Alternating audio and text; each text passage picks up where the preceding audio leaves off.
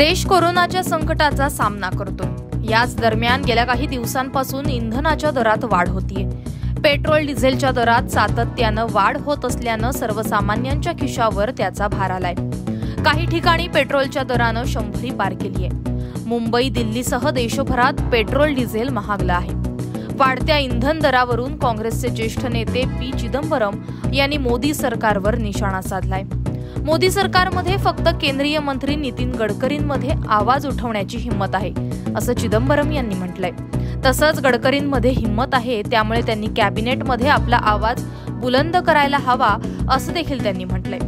Petrol डिझेलच्या वाढत्या दरांमुळे नागरिकांमध्ये तीव्र नाराजी असल्याचं गडकरींनी एका जाहीर कार्यक्रमात स्वीकारलं होतं. त्यावर चिदंबरम यांनी आता प्रतिक्रिया दिली आहे केंद्र सरकारमधील सर्व निर्णय हे पंतप्रधान मोदी घेतात हे देशातील प्रत्येक नागरिकाला माहीत आहे. त्यामुळे कोण अर्थमंत्री आहे आणि कोण नाही याला काही अर्थ उरत नाही. पंतप्रधान स्वतः अर्थमंत्री संरक्षण मंत्री परराष्ट्र मंत्री आणि क्रीडा मंत्री आहेत. तेच सर्वे सर्व आहेत. पण केवळ केंद्रीय मंत्री नितीन गडकरींमध्येच हिंमत आहे. ते वेळोवेळी आपला आवाज उठवत असतात पण सध्या तेही गप्प आहेत.